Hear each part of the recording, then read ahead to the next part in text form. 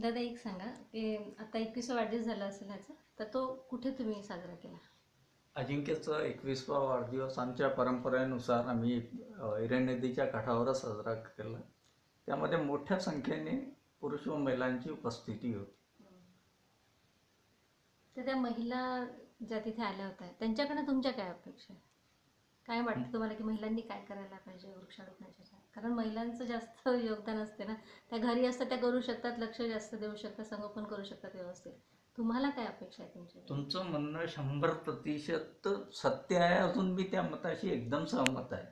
की वृक्षारोपण मोहिमेल सर्वात जास्त जर कोणी राबवत असेल तर ते आमच्या भगिनी आहे महिला. त्यांना वेळ राहते म्हणूनच किंवा घरी राहते म्हणूनच त्या चांगल्या प्रकारे नाही. त्यांच्या जन्मजात ते गुण राहतेच राहते महिलांमध्ये जशा एखाद्या बाळाचं संगोपन त्या चांगल्या प्रकारे करू शकते.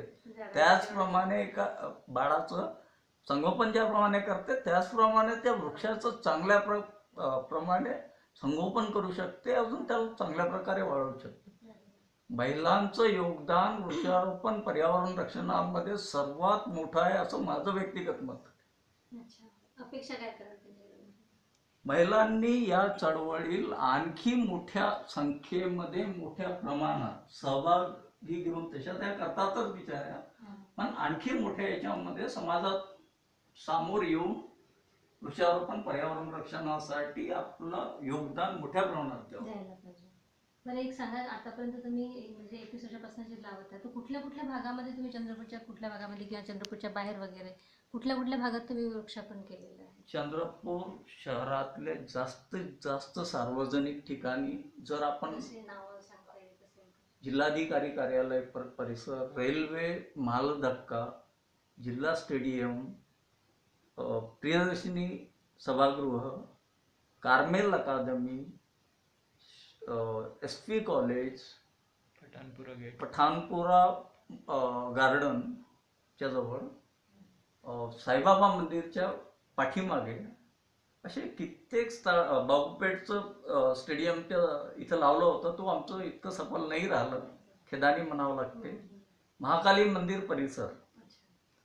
त्या भागामध्ये शहरातल्या जास्तीत जास्त सर्व सार्वजनिक ठिकाणी लावण्यामागचा उद्देश आहे.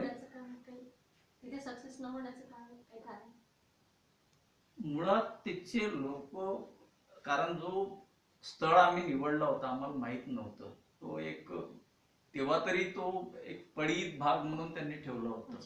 त्या ह्याच्याने आम्हाला ती कल्पना नव्हती कारण ती सर्वात घाणेरडी जागा असं त्यांच्या ह्याच्याने. हे होतं. तिकडे नाही. फिरकलं फिरकलंही नाही. त्या ह्याच्याने आम्ही लोकांनी.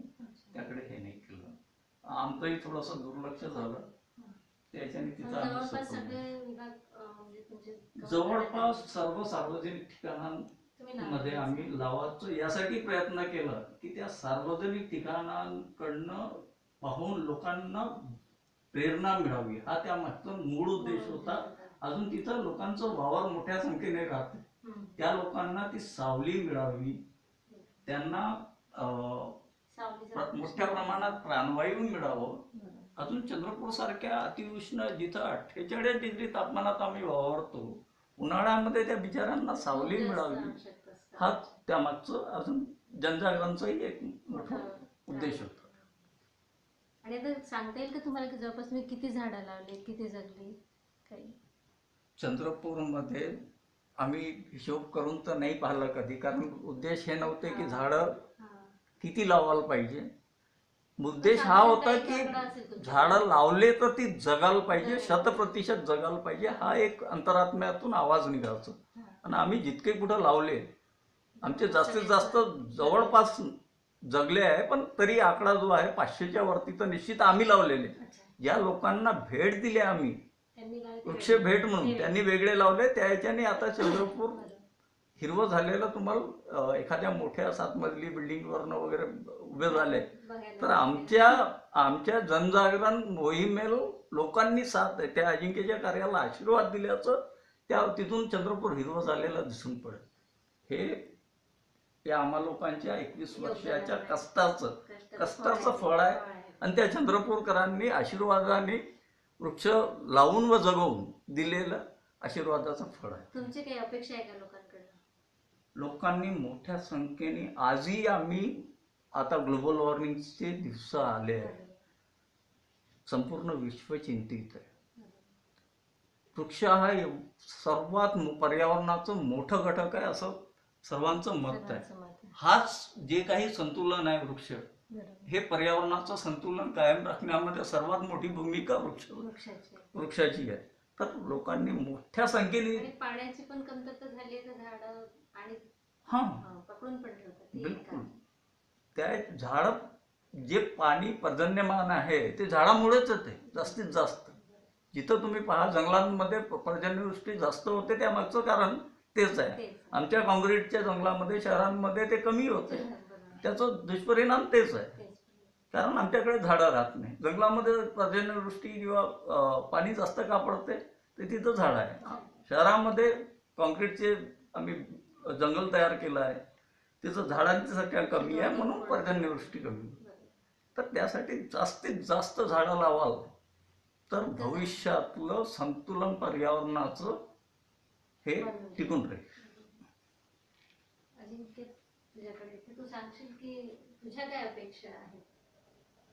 माझी अपेक्षा अं, मा- माझ्या मतेने ही जी जनरेशन आहे ते सध्या तर अवेअर आहे. म्हणजे हे पण ते काही हे नाही करत आहे. म्हणजे एफर्ट्स नाही हा. त्यांना फक्त अवेअरनेस आहे. हा. का करावं ते माहीत नाही किंवा या याच्या सगळ्यात मोठी प्रॉब्लेम आहे टाइम कोणा कोणी देत नाही आहे. टाइम कोणी देत नाही. तर तेच एक आहे की आपण स्वतः किती काही काम केलं तरी पण एकदम हे होऊ शकत नाही. ऍटलिस्ट हां सगळ्यांनी मिळून म्हणजे एक मेसेज स्प्रेड करत राहायचं स्प्रेड करत राहायचं आणखी ते जसं मी आता बघतो की आता मी ज्या एरियामध्ये राहतो पुणेमध्ये तिथे पुणे पूर्ण एक आहे पण त्याचे आउटस्कट जे बाहेरचे भाग आहे. तिथं म्हणजे फक्त मोठे मोठे बिल्डिंग बनत चालले आणखी तिथं काही झाडं नाही. तिथे काहीच झाड पुण्याच्या आतमध्ये झाडं आहे बाहेरच्या जागेवर कुठे झाड तिथे खरंच खूप गरज आहे. तर तिथं जे हे कर पण तुझ्यासाठी खूप मोठा डायस आहे तो म्हणजे हे कार्य समोर घेण्याचा तर चाललेलंच हा आहे. हा. पण तू जिथे आहे तिथे हा. जर हे चालवलं तर तिथे पण तुझ्यासाठी हा, ते- नावाची गोष्ट हा. तर वेगळी नाव तर होईलच पण एक आपण लोकांसाठी काहीतरी करू करू शकतो ज्या शकतो, ठिकाणी हा. खरंच गरज आहे या गोष्टी ते करायला पाहिजे. हा ते करू शकतो ते ते- ते अवेअरनेस तुला आणायला काही हरकत नाही ते तू करू शकतो तिथे. तुझ्यासाठी काही करणार आता असू बघ. शकतं, एक करत काहीतरी. आहे ते नाही का? हो. तिथल्या म्हणजे कारण तिथे जसं आपण म्हणतो की मोठ्या मोठ्या बिल्डिंगा तयार झालेल्या आहे पण झाडं दिसत नाही हा. जसं आता बाबांनी म्हटलं की तिथे सिमेंट कॉन्क्रीटचं वगैरे सगळं काही आहे. पण तिथे पाणी थांबू शकत नाही तर ते सुद्धा आता लोकांना सगळ्याच गोष्टी माहिती आहे की झाडं असल्यामुळे पाणी असते वगैरे. पण त्यांच्याजवळ वेळ नसतो राहिला जाय असं काहीतरी वेगळं जरी असलं. तरी त्यातलं त्यात आपण वेळ काढून ते झाडं लावायला सांगावं लोकांना हे संदेश आपण घेतले पाहिजे आपण केलं पाहिजे आणि तुम्ही नवीन पिढीने हे करायला पाहिजे ना तर हा एक तू म्हणजे आपला उपक्रम करू शकतो हा. तुला काय वाटतं ना. त्या बाबतीत तू करायला पाहिजे करू शकतो मी एक करू शकतो की जे पण माझ्या कॉन्टॅक्टमध्ये आहे जसं मी कुठेही जातो तर सगळ्यात पहिले त्यांना हे वगैरे सांगतो की इथे खूप म्हणजे जेव्हा पण झाड वगैरे राहते तर सगळे आम्ही इथे हे सांगत राहतो की इथं झाड झाड आहे म्हणून छान आहे तिथं झाड नाही. तर ते सगळं मेसेज स्प्रेड होत जाते ते अवेअरनेस स्प्रेड होत जाते.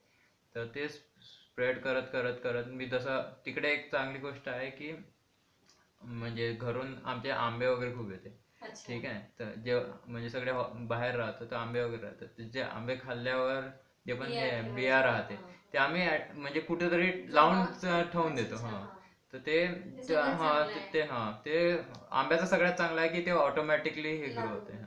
आणखी एक मला खूप हे- वाटते जसं गव्हर्नमेंटने एक रूल काढला की सोसायटीमध्ये काहीतरी थर्टी पर्सेंट ग्रीनरी एक एरिया पाहिजे अगर सोसायटी बनवत आहे हां तर थर्टी पर्सेंट एक ग्रीन लँड काहीतरी मला एक्झॅक्ट फिगर नाही माहीत पण काहीतरी पर्सेंटमध्ये ग्रीन पाहिजे तर तिथे जे बिल्डर्स आहेत ते शोचे प्लांट्स लावते. शोचे प्लांट म्हणजे मोठे होणारे नाही म्हणजे असे ग्रास लाव हां ग्रास लावून टाकणार त्याच्यानंतर असे छोटे छोटे झाडं लावणार जे चांगले फुलं द- दाखवणार तर ते पण लावा पण ऍटलिस्ट जिथे जिथे लावू शकते तिथे तिथे मोठे झाडं लावा. त्याच्यामुळे खूप हे चांगलं होणार सोसायटीसाठी पण. याच्यात एक सांगता येईल तर नवीन निघालेलं आहे की तुम्ही सगळ्या बिया जे तुम्ही फळं खाता. ते सगळ्या बिया गोळा करायच्या. त्याला वाळवायचं आणि मग आपण जातो. गाडीने वगैरे जातो जाताना टाकत जायचं. म्हणजे काही बियांचं हा छोटे मोठे. मोठे वृक्ष जर झाले. तर आता पुढच्या पिढीला होऊ शकते की काही. फळं पुढे पाहायलाच मिळणार नाही नाही का. आपण जर हे टाकत गेलं तर पुढे ते झाड झालं तर येणाऱ्या मुलांना मोठ्या पिढीला समोरच्या पिढीला. खायला वगैरे मिळेल आणि वृक्ष पण जास्त वाढते. तर मला वाटतं हे जुने लोक तर करतच आहेत आपल्या परीने पण तुम्ही नवीन लोकांनी सुद्धा म्हणजे हे करायला पाहिजे. जितके तुम्ही फ्रेंड सर्कलमध्ये बोलता एकमेकांशी सांगत राहता कारण फ्रेंड सर्कल हा मोठा असतो हो. तर तिथे काय आपण बोलत जायचं आणि हे फळ हा. आपण खातो ते स्पेशली त्याला जमा करायचं हा, जसं आता. कचरा आपण प्लॅस्टिकमध्ये ठेवायला लागलो तशा. बिया जमा करायच्या त्यांना वाळवायचं नाही आणि जाताना जर टाकत गेलो तर भरपूर होऊ शकते. झाडं होऊ शकतात हा पण एक माध्यम चांगलं मिळू शकतं चांगलं आहे की इझी हा, आहे हा. हे तुम्ही करू हा. शकता तर हे लक्षात हा. ठेवून त्याला पुढे करू. शकतो नाही का हा. संदेश आपण देतो लोकांना सांगत तर छोटे मोठे कार्य सगळेच. करतात छोटासा वाटा आपलाही असला पाहिजे नाही हा? मला तर ते सगळ्यात वाटतं की समजा आपण शोचे झाडं लावतो ऍटलिस्ट म्हणजे एक शोचा एक एक मोठा फळाची एक झाडं मोठा होणारा एक शोचा एक मोठा होणारा ते ग्रीन दोन्ही पण एक असलं हा पाहिजे. Greenery हा सोबत ग्रीनरी उपयोगी ते असलेलं ते असतं. ग्रीनरीचा अलग शो राहते हा, वेगळा शोध. हा कारण की छोटे झाड ते कधीच मॅच नाही करू शकत जे मोठे झाड हे करू शकते मुलांनाही एक एन्जॉय. असते ना कारण हा. मोठं झाड आहे तर खायला. वगैरे व्यवस्थित नाही हा. बरं दादा तुम्ही आता लोकांना काही संदेश देऊ इच्छिता का या माध्यमातून? आता तुम्ही म्हटलं की व्हिडिओ आहे आपला. तुम्ही म्हटलं की लोकांना फक्त पर्यावरणासाठी नाही माझं व्यक्तिगत मत आहे. कुठल्याही आजच्या याच्यामध्ये जितके फळं आम्ही खातोय त्यात जास्तीत जास्त रासायनिक पदार्थाचा उपयोग होत आहे कालच्या. समाचार. मध्ये मी पाहिलं नाही अगोदरही खूपदा पाहिलं मला माहिती आहे. लोकांनी काही झाडं फळझाडंही लावले आंबा मोठे होणार आहे पर्यावरण पूरकही आहे त्याचं? चिंच. या काही झाडं अशी आहे की ज्याच्यापासून फळी मिळेल पेरू झाले हे थोडे मध्यम आहे पण तरी ते त्यापासून फळ मिळेल त्या याच्यानी काही गरिबांना आर्थिक मदती होईल. विशेषतः आंबा वगैरे. शेतकऱ्यांनी आपल्या शेतामध्ये बांध्यावरती आंबा लावायलाच पाहिजे. त्या याच्याने त्यांना आर्थिक इन- अ, मिळकती होईल. अजून पर्यावरणासाठी पूरकही होईल.